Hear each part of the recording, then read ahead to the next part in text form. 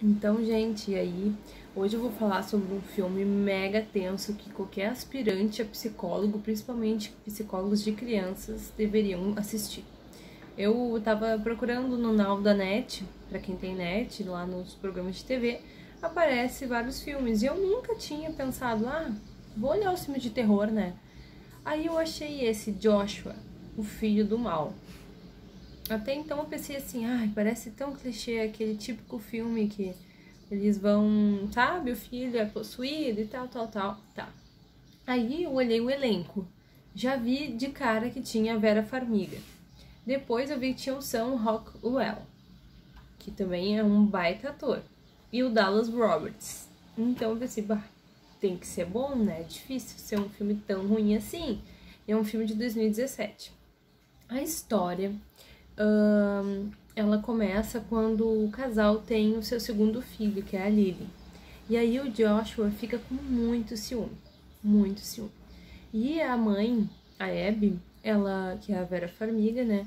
Ela tem um sério problema assim de depressão pós-parto, então ela enlouquece depois dos partos e ela também enlouqueceu com o parto do Joshua na época. E aí ela tava bem, ela tava muito bem, então acontece uma série de coisas, uma série de coisas que tu começa a pensar assim, bom, será que o Joshua é bom ou não é? O que que tá acontecendo? Eu achei interessante que o George Hatlife, que é o diretor, ele tem uma forte inspiração no Hitchcock. E várias cenas são bem tensas intensas e densas como os filmes do Hitchcock. Eu achei isso bem interessante. Ele conseguiu, assim, fazer direitinho aquela tensão, assim. E por vezes o filme é um pouco maçante em algumas algumas falas, assim, vai se arrastando. Ele tem uma hora e 45, mas todavia, assim, é maravilhoso. Maravilhoso. E o Jacob Colgan, que é o ator mirim do Joshua, eu achei ele, assim, sensacional, um baita ator, porque ele interpreta que ele tem 9 anos e o que acontece, assim, é que ele passa de um menino prodígio maravilhoso que toca piano, que é o melhor da turma, para um psicopata. Literalmente um psicopata. Ele muda a personalidade dele pelo ciúme que ele está tendo por causa da nova irmãzinha. Então acontece uma série de coisas, uma série de jogos psicológicos que me deixou assim, sabe? Eu fiquei apreensiva assistindo aquilo. Então é realmente assim bem é um filme bem chocante assim, é parecido com Vamos falar sobre Kevin. É um filme assim que te choca, porque ainda mais com crianças, né? E a, o elenco assim tá maravilhoso e tu vai entrando naquele enredo e sentindo a dor do pai, porque ninguém acredita nele, todo mundo acha que ele e ele e a mãe que estão pirando, que o filho é completamente são e tal, mas realmente sim, é terrível.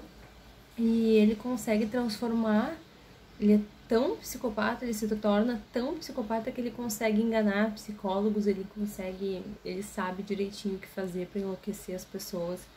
Então, nossa, é um filme assim bem tenso mesmo. Muito bom. Muito bom mesmo. E o final, assim, bem triste também. Mas valeu a pena. Valeu a pena. E ele desenvolve também. para quem é acostumado, assim como eu, né? Assistir filmes uh, de psicopatas ou coisas assim, ou para quem já assistiu o Halloween ou início uh, do Rob Zombie, né?